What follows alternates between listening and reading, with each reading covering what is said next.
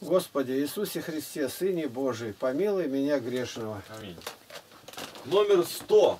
Вопросы и события дня. Задавайте вопросы. 20 марта 2016 года. Ну, дальше сами считайте. Это как эпиграф взято, кругом измена, трусость и обман. Отсюда сергианство, слепление с властью и прочее, что делается. И в каждом человеке может это завестись, это проказа.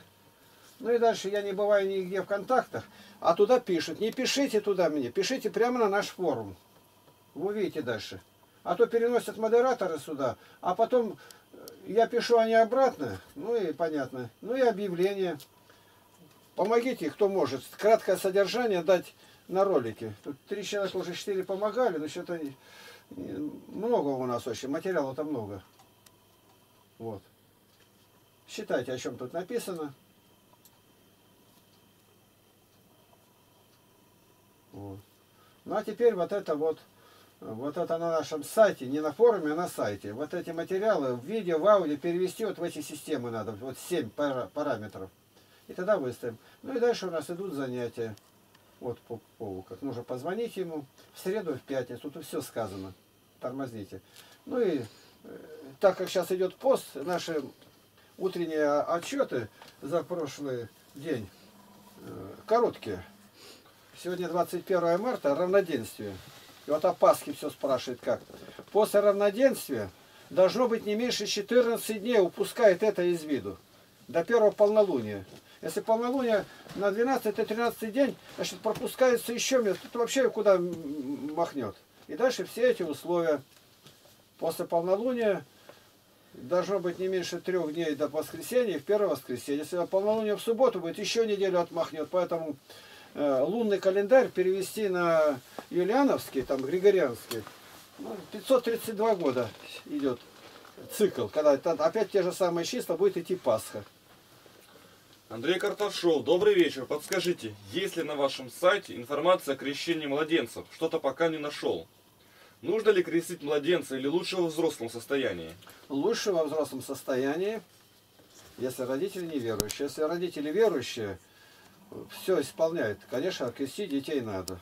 Дети должны быть. Крестился, написано, Корнилий весь дом его. Крестилась там Лидия весь дом ее. Ну, все такие, к примеру говорю. Уже доказано многократно, тут найдите, зарядите на нашем сайте, на везде, как крещение. Там все описано. И на сайте, и на форуме, потом многократно. Я это скрываю фамилию, потому что, ну, которые нас преследуют, слово сказать, вот преследуют. То есть мы сегодня, 21 марта, считали утром 9 псалом. Прочитайте его. Он прямо в руку идет. Как они что делают? Преследуют бедного. Ну, не они бедные, я бедный-то. Я за ними не гоняюсь, они за мной гоняются, там всякие разные. И все СД. И, наконец, прямо уже Саварбек, там, Джабраилович, СД. Сатана, дьявол. И все время где-то на какую-то на эту фамилию, обязательно на С или на Д. На меня нападают. Почему? Господь это допускает. СД, я уже осенью говорил. И так и идет. И, наконец, в одной фамилии совмещаются. И вот он пишет, этот человек. Миром Игнатий Тихонович. Вчера получил книги. Очень доволен. Большое спасибо. Также прислал на ваш счет пару рублей для Пащенко за его труд. В виде благодарности. Вот номер. Ну, номер я убрал, чтобы не видно было. Так, Вестерн Юнион, это о чем говорит? Что человек не в России. Также спасибо вам за роспись. Ну, имеет в виду подпись. Попросил обязательно, он получал книги, теперь снова выписывает, чтобы я подписал книги.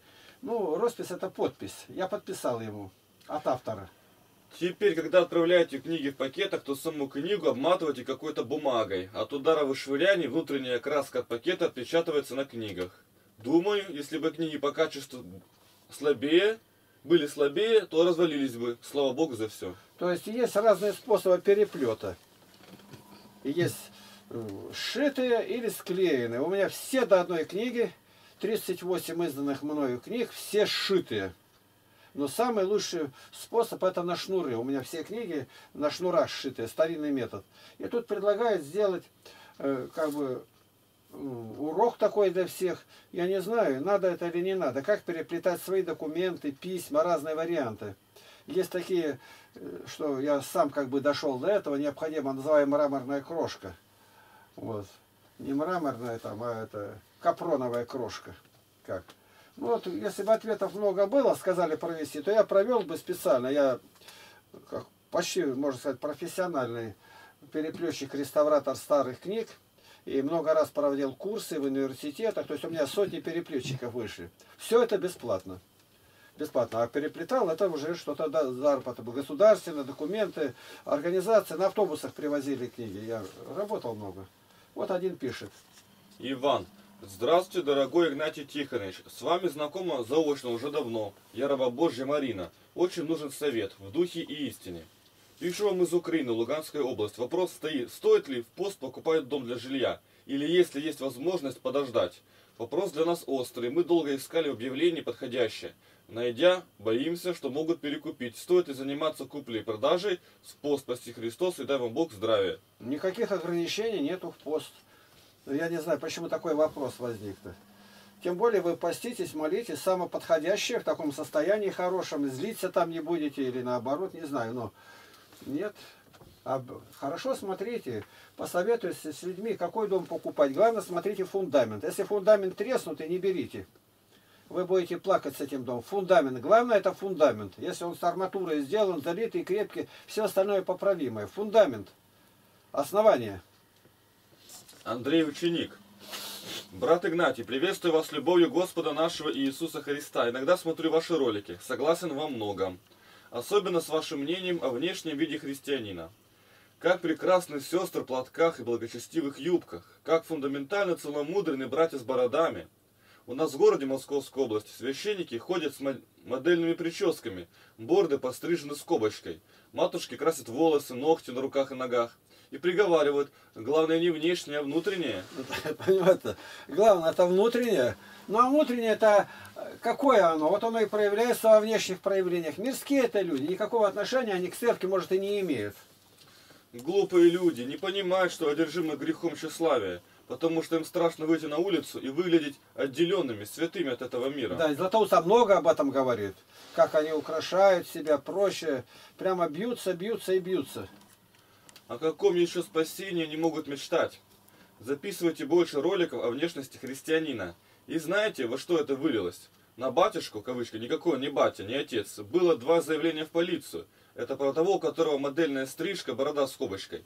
Одно заявление за избиение подростка, второе за избиение тещи. Вот тебе борода с скобочкой. Вот тебе и важно не внешнее, а внутреннее. Я 23 года во Христе и на 100% знаю, что у человека в душе, то и на лице. Благословит вас Бог. Вот я сейчас маленько от, отвлекусь и покажу. Говорит, ничего это не значит. Значит что-то. Вот смотрите.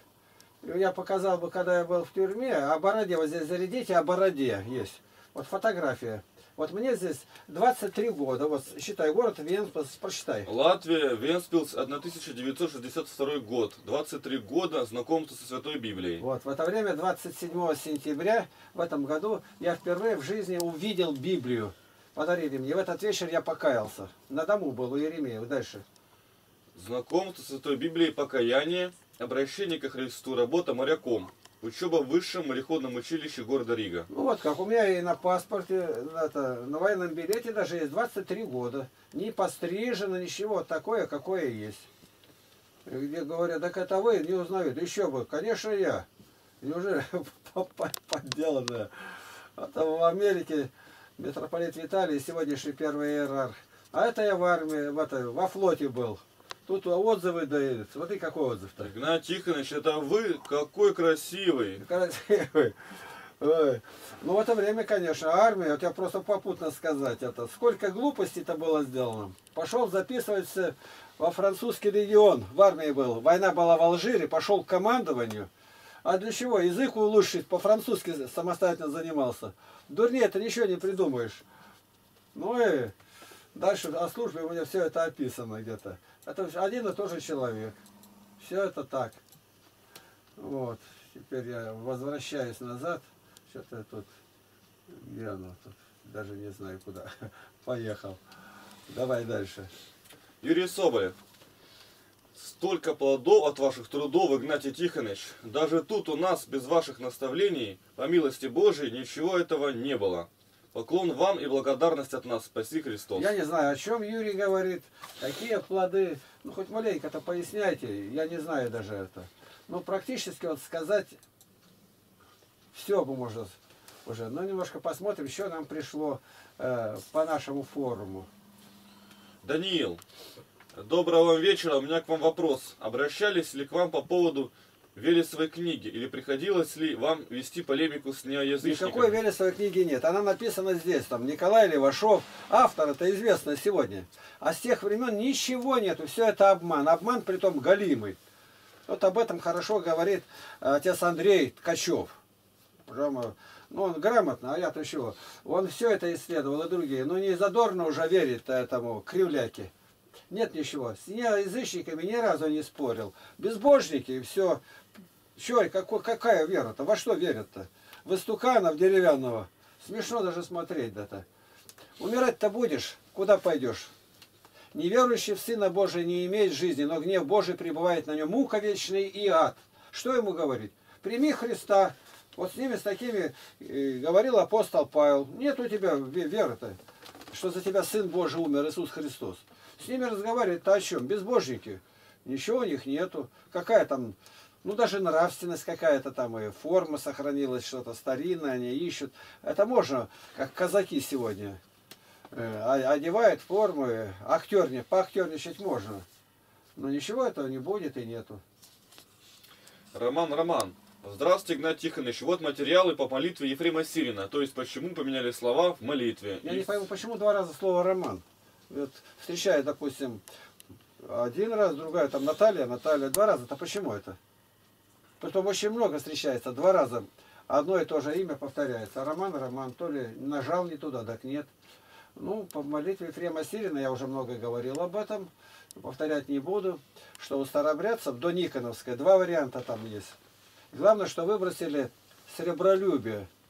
Сребролюбие, жадность выбросили слово. Но я его нашел, что в любоначале они оставили его. Любоначале, а из этого идут и деньги. Ну, будет депутатом, начальником где-то. Но оно скрыто и не видно. Потому что главная болезнь – это корысть и трусость трусость и корысть, все покрытое там. И люди будут погибать через тщеславие и сластолюбие, как Кукша там говорит, другие осы. Вот оно все такое сегодня есть. Кто нападает, еще посмотришь. Я повторяю, сегодня утром читали 9 псалом. Прочитайте. Почему Слово Божие живо и есть? Оно прямо непосредственно ко мне. Про меня там написано.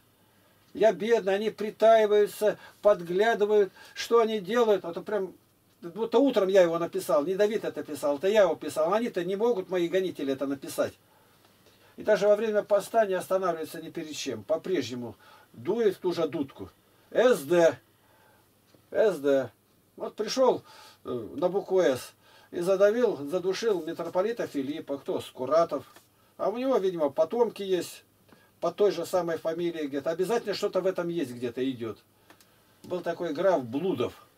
Фамилия-то какая? Здесь был священник Погиблов. Он уехал сейчас в Санкт-Петербурге. Погиблов. Ну, фамилии-то давали по каким-то качествам.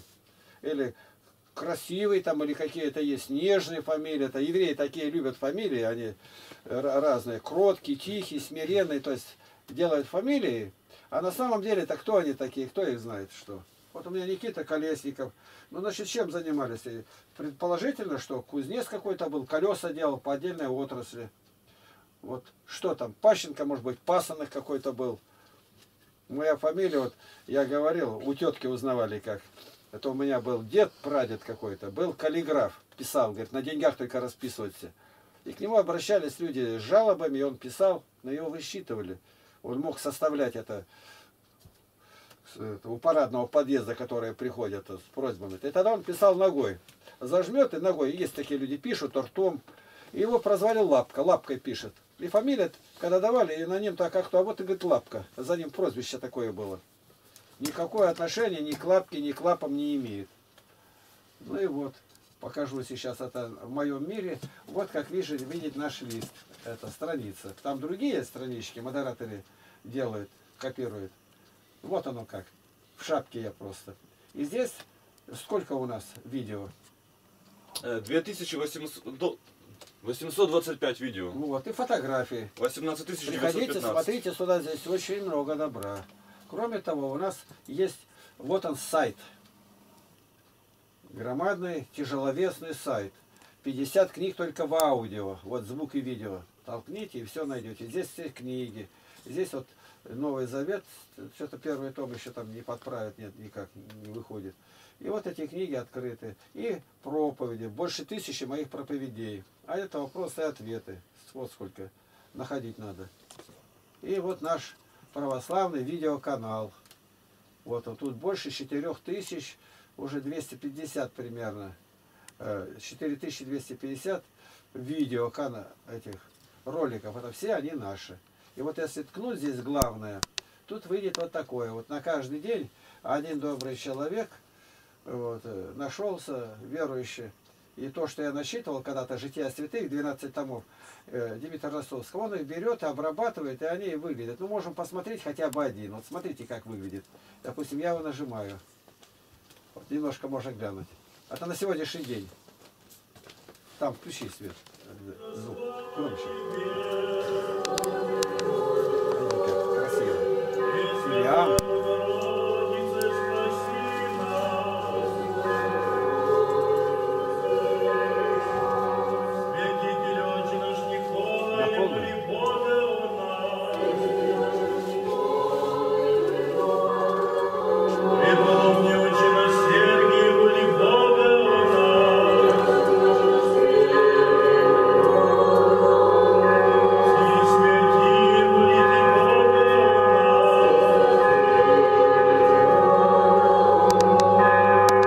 Во имя Отца и Сына и Святого Духа.